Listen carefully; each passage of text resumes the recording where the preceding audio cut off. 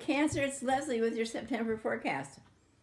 Uh, the so the eclipse was very good for you too. It was good for all of us actually in a different way. Each, each, this will be um, this is for you. You'll be inspired what to do. Remember to gain something new. You, you sometimes have to let go of something old for something new to come in. You'll have surprises in romance, or your social life may shake things up.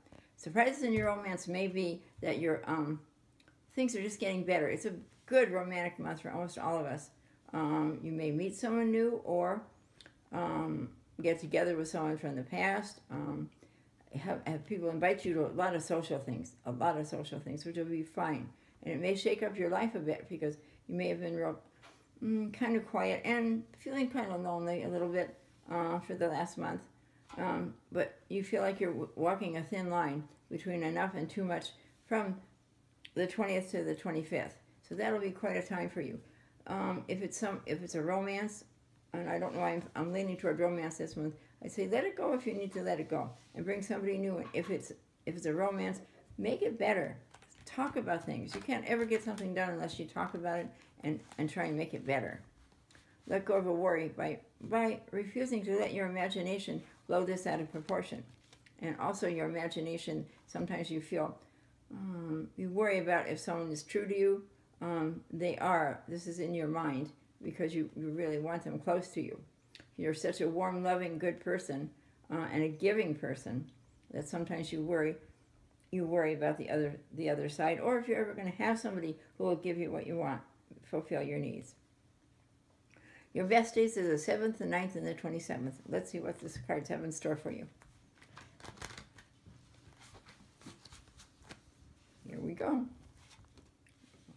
in the past, learning something in many ways. And I think that Eclipse helps you with that. I really do. Mine. Mine.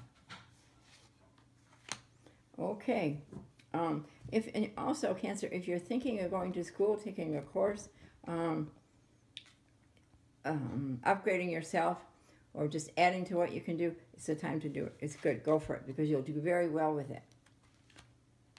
Um, here is someone trying to, trying to, it's a friend. This is a friend or an acquaintance, a business acquaintance, um, trying to really give you advice.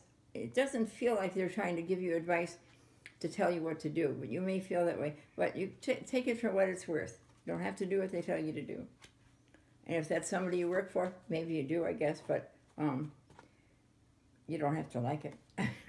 so here we go. You may be going on a trip but you're really going forward with your life. You're really going forward. Um, this is where this is very good, very very good, very good. It's an important card, and you're moving forward also with a relationship. You'll be moving forward, um, caring about somebody. This again, you may want to cohabitate. You may want to live with someone. They may want to live with you. Um, it's time to go for it. It's time. It's also time to after so many years of being together, it's time something comes out of this, not just um, a dating type of situation or someone you see all the time, but they just come over and they leave. Uh, it's time. It's time to cohabitate, plan getting married, whatever whatever your choice is. It's very positive. This is also, I believe, this card can mean three or four things, and and I believe this means, well, it can mean you're going on a trip with someone, or you're going forward with someone. Very nice. Very, very nice.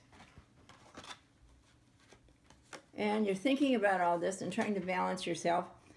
You will get that done. It may be toward the very end of the month, but you will get it done. And whoever this lady is, this woman is, she's trying to give you good advice too. And this could be a relative. It could be your mother, your sister, uh, or someone very close that you work with. Uh, they mean well for you. It's a good month for you. Uh, it's a good month where people do mean well for you. So enjoy. Bye-bye.